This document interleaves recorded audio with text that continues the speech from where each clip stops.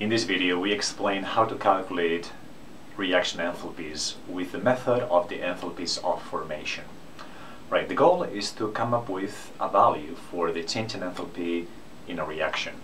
So suppose your, that your reaction is uh, a reagent A to give a product B, and then the lowercase a and b's are simply the stoichiometric coefficients of that reaction. Uh, in principle, because enthalpy is a state function, uh, one of the uh, uh, strategies that you could use to calculate the change in reaction enthalpy would be to simply have a measure for the enthalpy of products, have a measure for the enthalpy of reagents, take the difference between those two, and that should be the enthalpy of a reaction.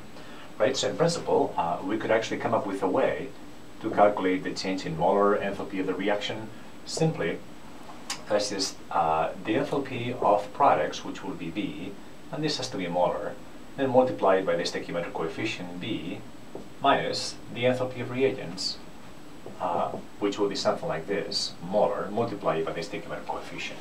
Again, and this just emerges naturally from the fact that enthalpy is state function. It doesn't matter how, to, how you go from A to B. The only thing that matters is, is the, what those points are.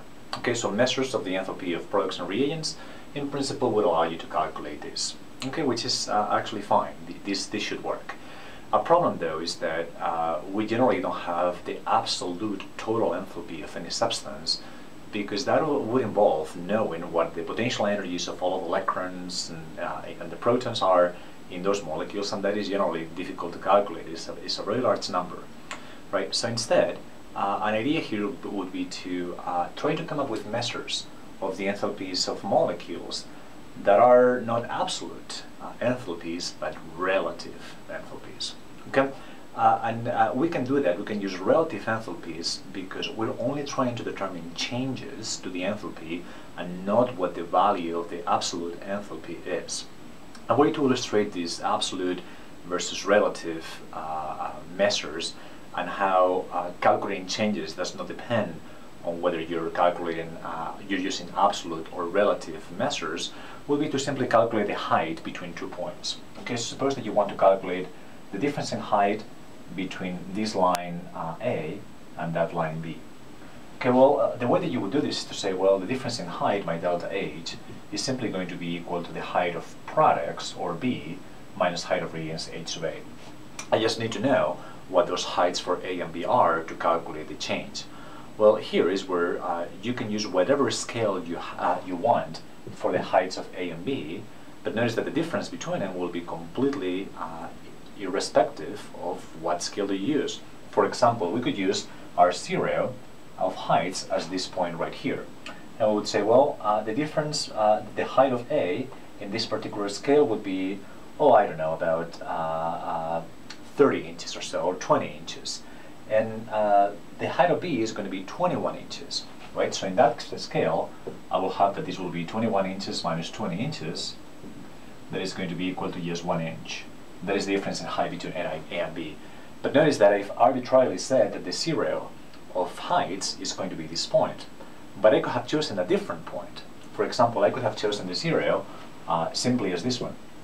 And I would, I would say, well, uh, in that particular scale, what I would have is that, well, this still uh, truth. Now, the height of A with respect to that point will be uh, minus 2. The height of B with respect to that point will be minus 1. So then my uh, heights are going to be minus, minus, uh, 2 inches here. That's still 1 inch. Notice that regardless of where I place the zero, the difference in height the two points are exactly the same, is exactly the same, as long as I always have the heights with respect to the same point. I could have chosen sea level as, as a way to determine the heights of these lines and still the difference between them will still be, uh, will be one inch.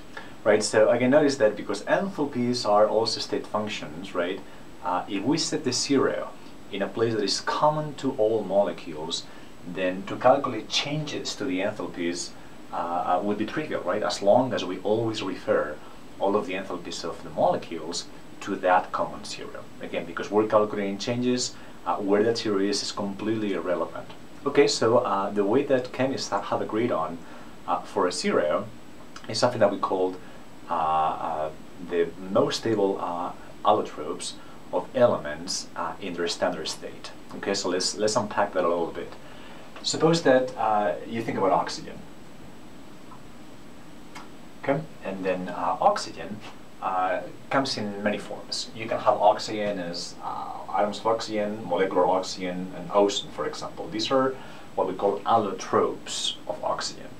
Uh, but it turns out that under something that we call standard conditions, which is pure substances and one uh, atmosphere or one bar of pressure. We're going to choose one atmosphere, but I think the, uh, the, the, more common definition or the, the more exact definition would be, would be one bar. Uh, if these uh, substances are, are pure and the pressure is one bar, at a temperature of interest, which is generally a room temperature, only one of these is going to be the more stable one. And it turns out that uh, is going to be oxygen gas, molecular oxygen, the one that is more stable. Okay, so it turns out that the, uh, by convention, we give this uh, most stable allotrope of a pure element under standard conditions a value of zero uh, kilojoules per mole for the enthalpy of formation.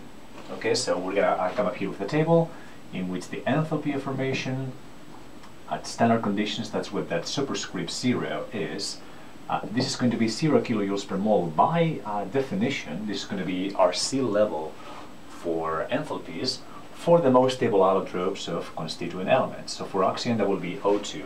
Nitrogen. For nitrogen, the most stable allotrope under standard conditions and ambient temperature will be nitro molecular nitrogen as well. For carbon, it will actually be graphite.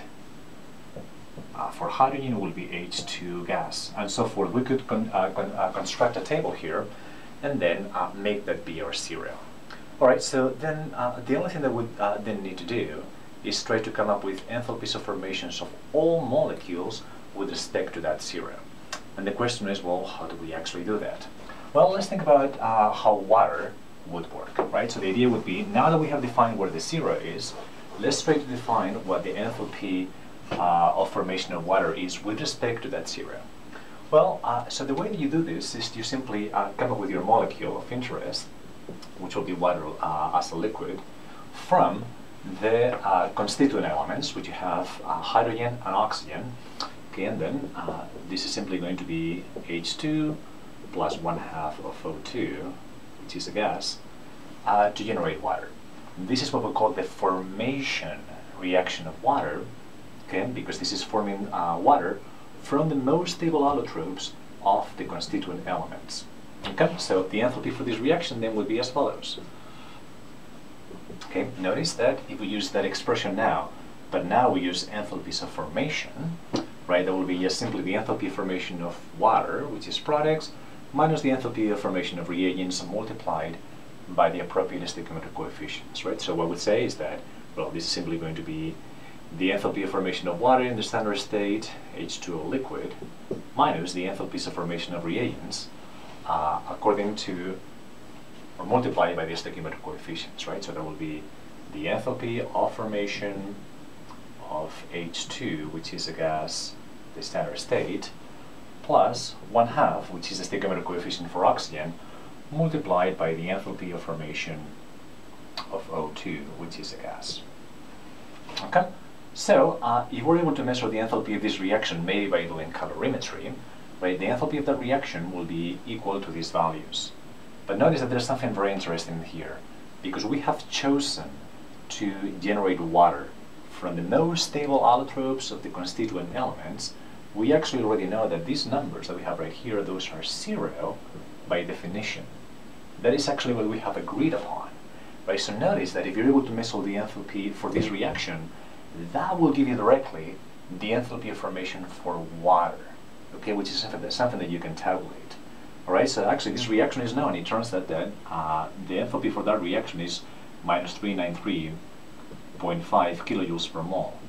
Right, and because this is the, uh, the formation reaction, then uh, uh the formation enthalpy for water will be directly the enthalpy, uh, the reaction enthalpy for, again, this formation reaction.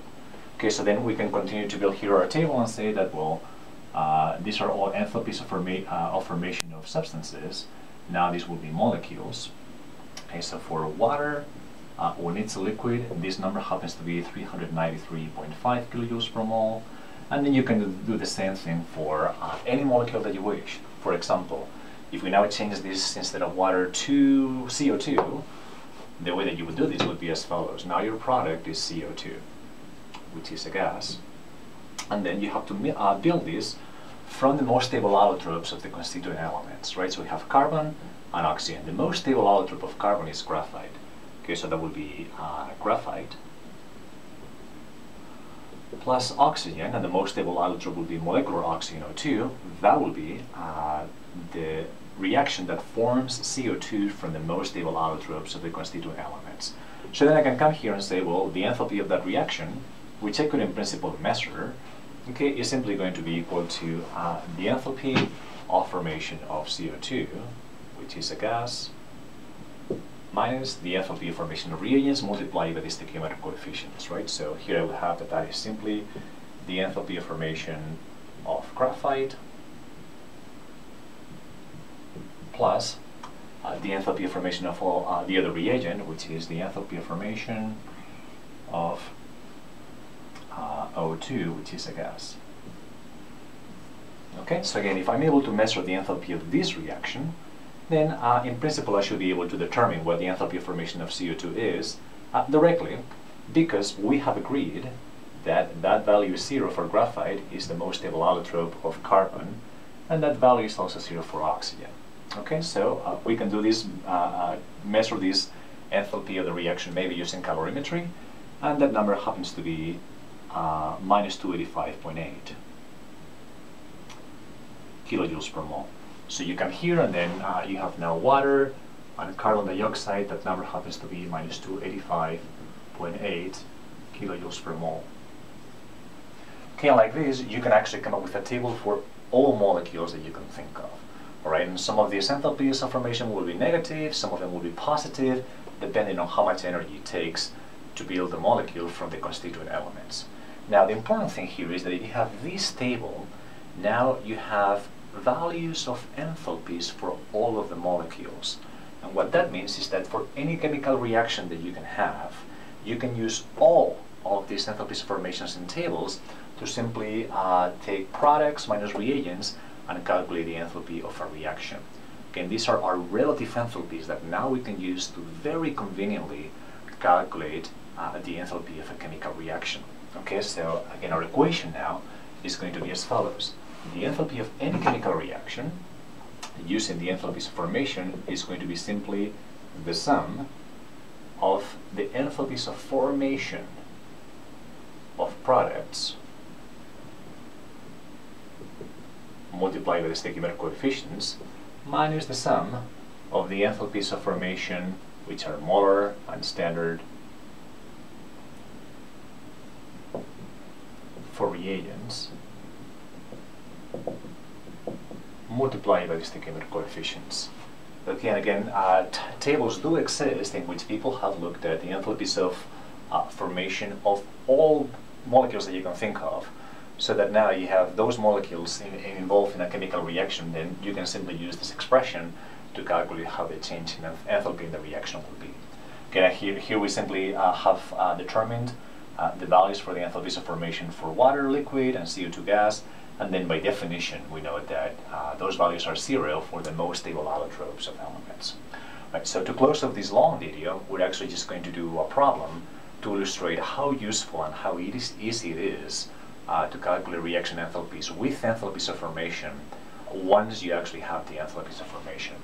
Right, so then the problem would be, please determine uh, what the enthalpy of the following reaction would be.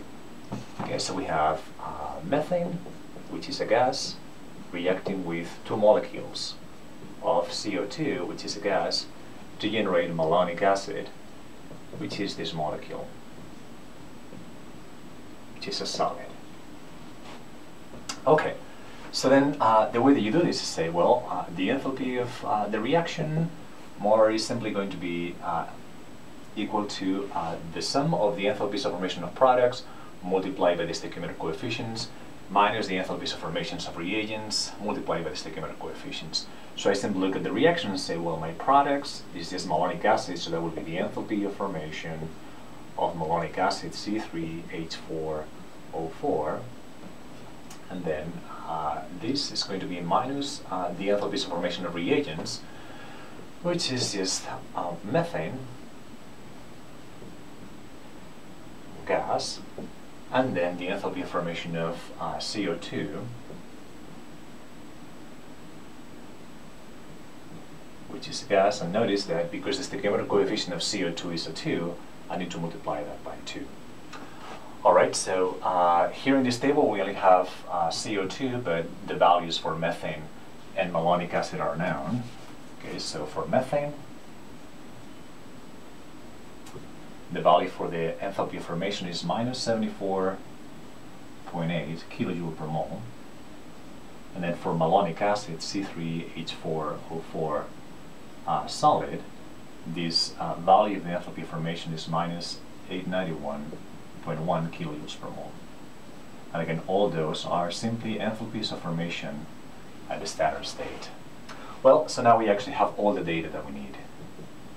The enthalpy of the reaction will be the enthalpy formation of malonic acid, which we have right there, minus 891.1 kilojoules per mole, minus the enthalpies of formation of reagents multiplied by the stoichiometric coefficients. Methane, that is minus 74.8 kilojoules per mole. And then to this I have to add the enthalpy formation of uh, CO2, which I have here as minus 393.5 kilojoules per mole. Okay? Again, notice how simple this is. You simply take, uh, look at the reaction, look at the stoichiometry, take the enthalpy of products, subtract the enthalpy of reagents, everything multiplied by the uh, appropriate stoichiometric coefficients, and simply that gives you the enthalpy of the reaction. So the only problem here is whether you have these tables or not, and there are tables that are very extensive containing uh, enthalpies of formation of most molecules that you can be interested in. Right, so uh, the final number that we get out of this uh, reaction is this will be an exothermic reaction right? And the value of the reaction exothermicity is minus 29.3 kilojoules per mole. Okay, so let's me, let me summarize this video. Uh, in this video we have seen how to use the method of enthalpies of formation to calculate uh, the reaction enthalpy. Uh, uh a difficulty with the enthalpies of formation is that uh, you have to recognize that those are just relative measures of the enthalpy of a given substance. And to be able to de uh, determine those relative enthalpies, you have to define an arbitrary zero, which we simply have as the most stable allotropes of elements at the standard state. Okay, so what then you find here is that using those standard enthalpies of formation, then you can come, come up with the uh, reaction enthalpy. Because you're using the standard uh, properties, then these will also be standard. Okay. And again, what standard means is simply that you're using pure substances and the pressure uh, happens to be one atmosphere or one bar.